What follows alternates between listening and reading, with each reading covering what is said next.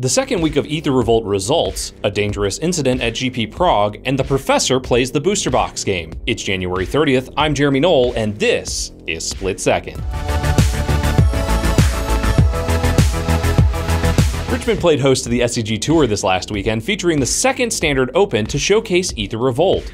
After strong showings by Saheeli and Black Green decks during the first weekend in Columbus, players were eager to see if there would be anything new to change up the metagame in week 2, but it looks like those decks are here to stay, at least for another week. Two copies of Black Green Delirium made their way into the top 8, piloted by Todd Anderson and Maxwell Paustain, with only a single copy of Green Black Aggro by Corey Lynch managing to get there as well.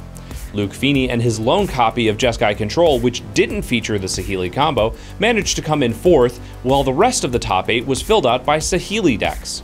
Jeffrey Askin made it all the way to the finals with a four color Saheeli deck, while Charlie Murdoch in sixth, Brad Shepard in third, and the winner of the event, Dylan Donegan, all opted for the Jeskai Saheeli build.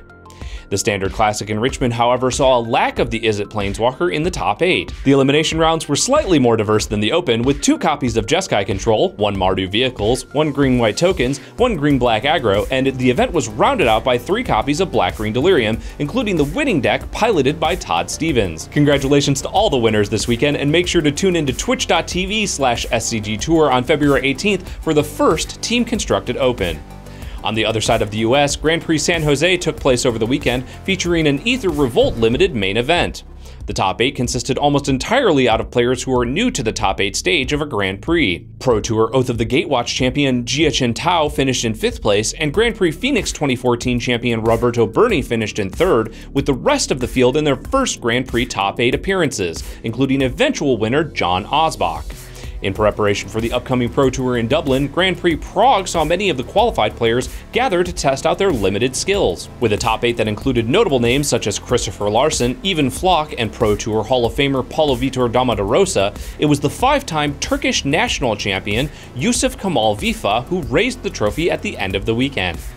The main event results weren't the only news to come out of GP Prague over the weekend. On Friday during the event, one of the restaurants in the venue experienced a kitchen fire, which forced the tournament hall to be evacuated. According to the official report from the tournament organizer, all of the side events on Friday were canceled and the main event moved halls. The fire was contained quickly and no players or staff were injured.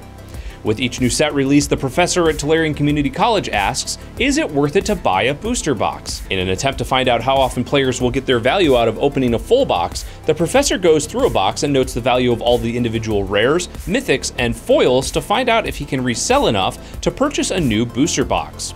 For this series, the professor only counts the cards that are $3 or more to offset the cost of shipping. Will he be able to get more than one box out of this series? Find out by heading over to youtube.com slash Community. That's our show for today, January 30th. Make sure to like and subscribe to our channel to keep up with all the latest Magic news and strategy. I'm Jeremy Noell, and this has been Split Second, including the winning deck, piloted by that guy with the tie, Todd Stevens. Come on down. Na, na, na.